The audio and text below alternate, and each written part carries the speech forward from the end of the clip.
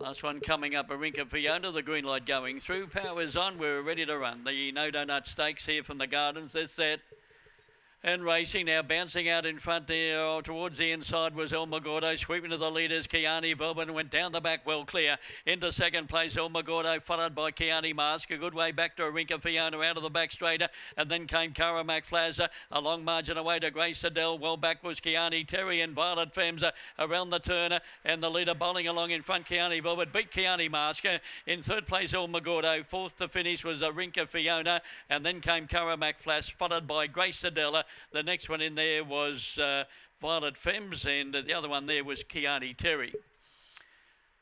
Um, before the winner, Kiani Velvet, defeating number one, Kiani Mask, and number two, El Magordo.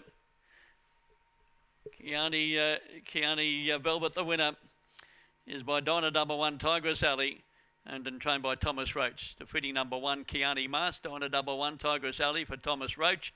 And number two, El Magordo, Fabregas, Steadfast Tammy for Stephen Francis. 4 1 2. Six was fourth, Arinka Fiona. They run 22.97, three quarters by four and a quarter, and uh, the run of 22.97. 4 1 2 and 6 the numbers after race 11.